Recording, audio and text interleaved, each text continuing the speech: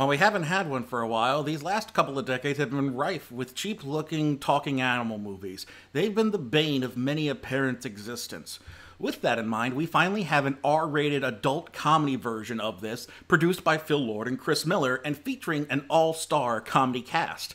Unfortunately, said comedy version ultimately ended up as lazy as the family friendly version.